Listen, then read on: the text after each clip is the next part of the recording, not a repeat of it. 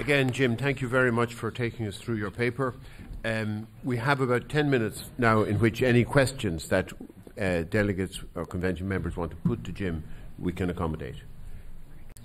Yvonne. Again. And again, could you introduce yourself again? Okay. yeah. Thank you.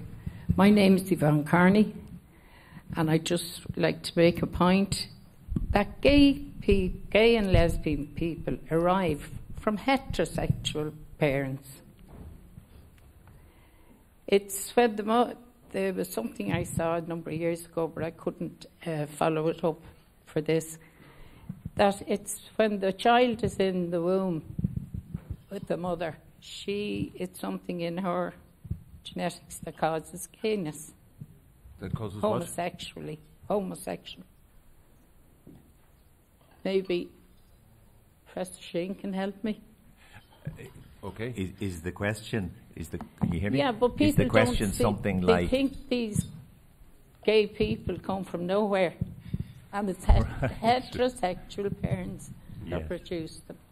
Yeah, and and you're wondering really, is there is there any evidence to suggest that uh, the determination of sexual orientation yes, is actually down at the level of documentary I watched. You know, I I think the evidence is really still out on that question. Is it? Yeah, and I think that that's there's good. still what that's good. Because okay. the mothers get blamed for well, everything. You know, there's there's plenty plenty of theories, plenty of contest.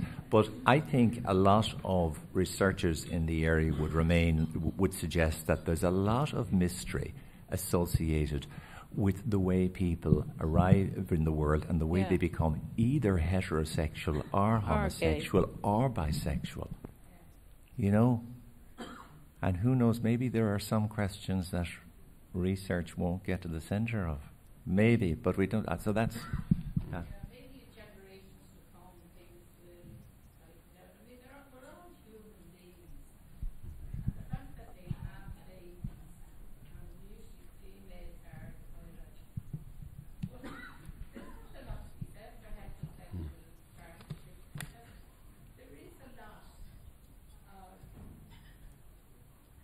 Thanks. There is a lot of problems with children and with parents from heterosexual mm-hmm. marriages, but so far we've never heard of any of gays mis- mistreating their children. Maybe they do, mm. I don't know, but we've never heard it. They do, they do. Some of the some yeah. of the yeah. research suggests that there's really no difference in the level of uh, abuse, neglect, or maltreatment. No, just the same. Yeah, there's yeah, a couple of other people. Yeah, one group okay. is, is heavenly. Thank you very much for that. And uh, I just said because we are so short of time before a coffee break, there's two people that if I can, I, yeah, firstly yourself, and then could you, again could uh, uh, I'm Barry McElduff, and my question is effectively to Professor Sheehan. Um, does the available evidence effectively suggest that really the only negative impact on the children of same sex parents is the discrimination that they suffer on the basis of parental sexual orientation? Could, could I take that next question as well, because we, we might have to bundle questions? Um, could I, could I just say again? Name, please. Jim Darcy. Sorry. Uh, the, the speaker before last said children come from heterosexual couples, but the fact is that uh, most gay people are, are, married and have children. Uh, uh, or traditionally, that would be the case that a lot of gay people would have been married and have children. Having children is is not uh, is not there's there's no complete correlation between gay, being gay or, or lesbian and not having children.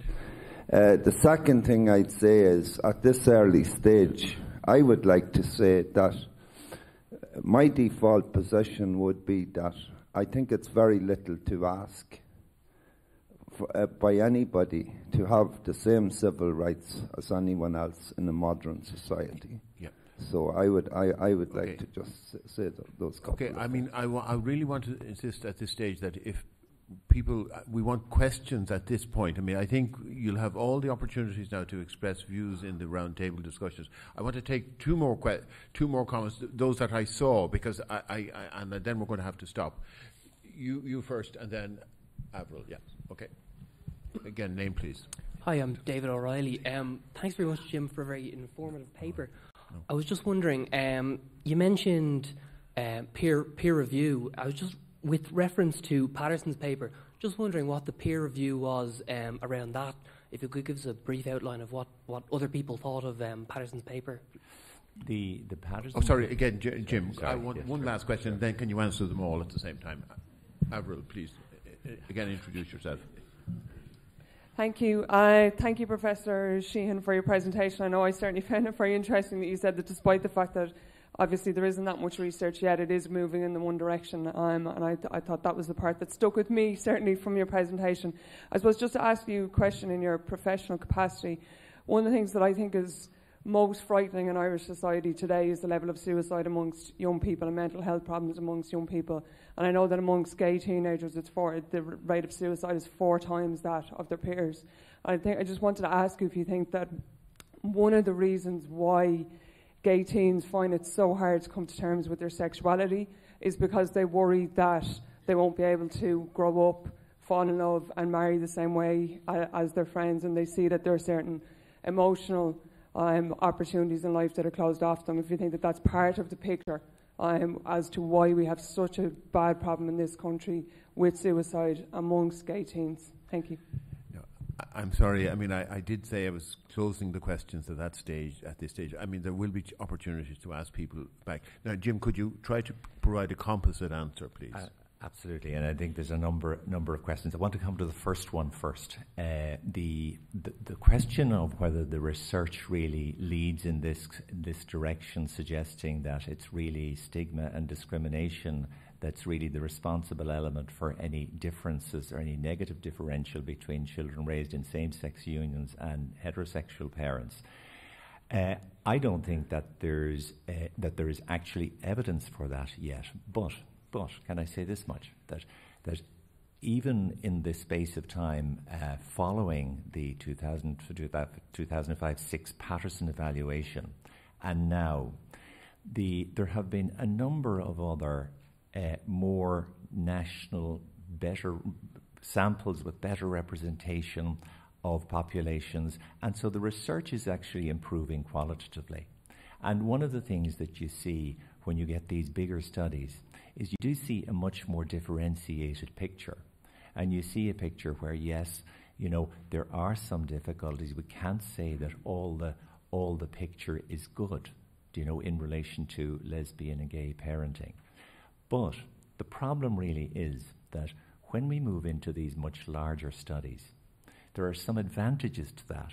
But one of the things that gets hidden a bit is the very element that you're talking about. You actually bring into those larger studies the element of stigma uh, and social isolation and the element of uh, the element of living without legal sanction for adult relationship and parent-child relationship becomes bigger. And those big studies are particularly poor at being able to handle that question. So I think you're putting your finger then on, there on something that's absolutely critical. And I want to move to the fourth question now. And to say that in my experience over 40 years working with young people, uh, adolescents and young adults and so on, uh, the issue about mental health and propensity to suicide and mental health problems there's no doubt that among adolescents and very young adults, the question of being able to marry or not to survive in a society and live and stay alive has been critical, right?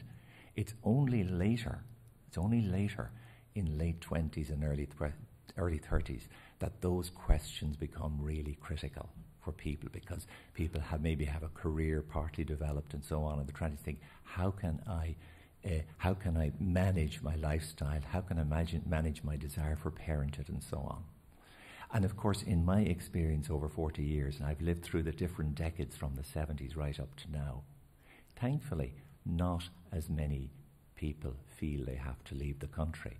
But in the 1970s and 80s, the number of young people and young adults who I saw who felt it intolerable to live in Ireland, felt they could not stay alive in Ireland, was very significant. As I was speaking the more this morning, one particular man came to my mind who was in his 20s, who was in working in the bank. This is in the late 70s.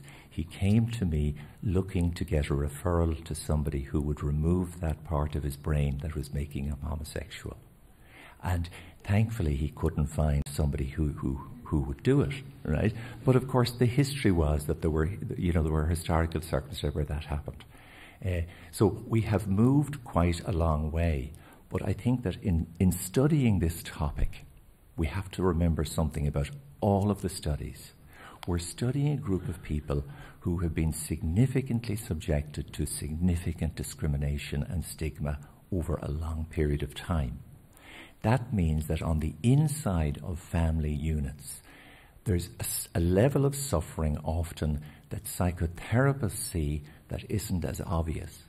Because back in the 70s and 80s, these families and family like units were simply not visible. And the visibility aspect of them has become much more, much more significant. I want to go to the final question. Not, I hope I'm not missing somebody, but the question about the Patterson paper.